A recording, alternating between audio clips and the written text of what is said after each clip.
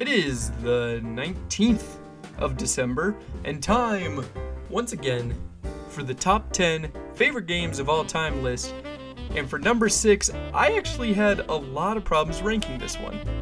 I I don't really know why. I feel like it should go a little bit higher up in the list, but I don't know. I, I don't I, I don't know. I think the only reason that it's not higher on the list is because I think I've only played it once and there's not a whole lot of replayability to it. But anyway, day number 19 is Portal 2.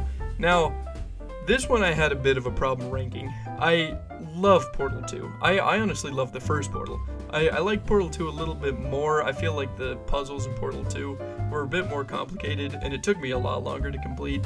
Um, but yeah, I don't know. See, I think the only problem that I have with Portal 2 is that the replayability isn't all there.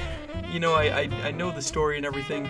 I feel like if I went back to it now, it'd actually probably be fine because, you know, I, I don't remember any of the puzzles. I, I mean, I might be able to kind of recount some of the puzzles to a little bit, but I, I don't know. I think for the most part, Portal 2 was just, you know, there were so many great puzzles, but I think going back to it now would be a little bit, eh.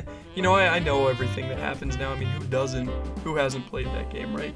Um, but I just really love Portal. I really love how it's just you solving puzzles. There's, you know, a smart alecky robot that's, you know, just yelling at you the entire time. And I love the simplicity of it, the style of it. It's just all around fantastic. And also just the physics that go into it. I mean, there must have been so many different weird tweaks that they had to put to the developing software to make it work as well as it does. And it works great. I mean, I've played plenty of other, you know, puzzly kind of Portal games, and there is not one that is like Portal. It is just so perfect of a game, and I think that's why it's, you know, still so popular now, even though it's been out for millions of years, it seems. So yeah, Portal 2, number 5. No, sorry, number 6 on the list.